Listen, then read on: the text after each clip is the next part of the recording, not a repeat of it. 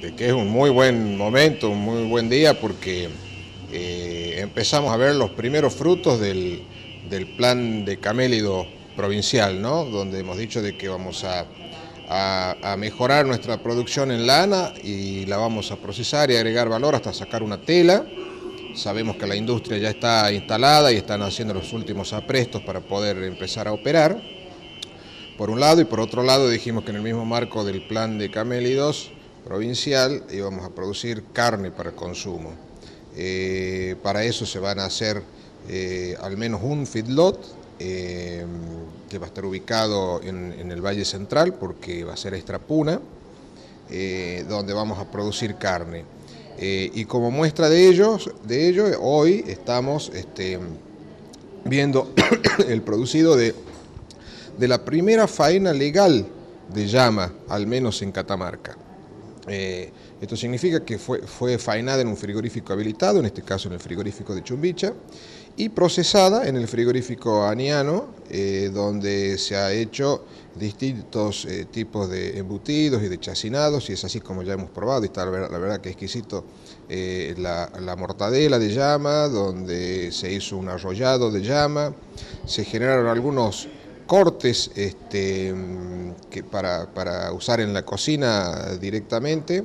Y también este, se están haciendo eh, jamones y bondiolas, eh, esto obviamente eh, hechos en, cocinados en sal.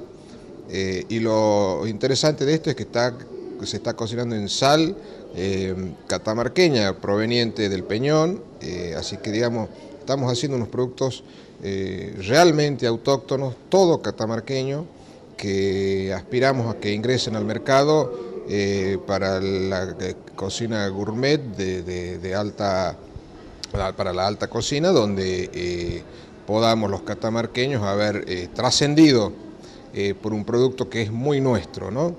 Eh, la verdad que estamos muy contentos por eso. Ministro, desde siempre el potencial de la llama se reconoció, pero es como que hoy hay un salto eh, del decir al, hacer, ¿verdad?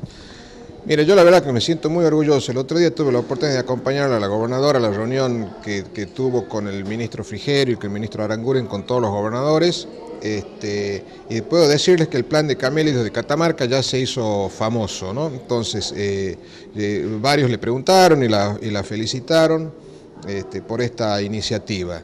Eh, la verdad que es un muy buen plan y la verdad que, Catamarca no solo se merecía, sino que correspondía que lleve adelante este plan de desarrollo este, de camélidos.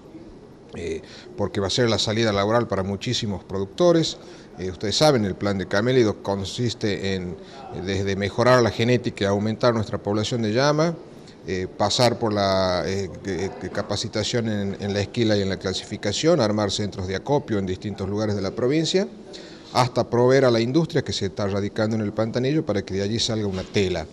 Esto es todo, absolutamente todo el proceso se realiza en Catamarca en lo que hace a fibra. Y en lo que hace a carne, bueno, ustedes están viendo, son llamas catamarqueñas, este, criadas en Catamarca, terminadas en Catamarca, faenadas en Catamarca y procesadas en Catamarca. Bueno, eso es lo que nos pidió la gobernadora que hagamos. Eh, y creo yo de que estamos eh, cumpliendo y esto significa un gran paso para, el sector en, en, toda la provincia.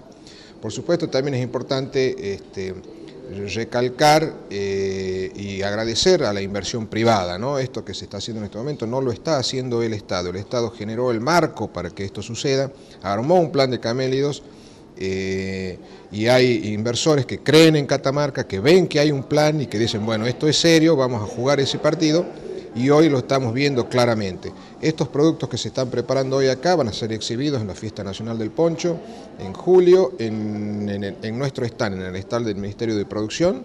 Eh, allí va a, estar, va a estar todo esto, así que desde ya los estamos invitando para que lo vayan, pasen a visitar y a probar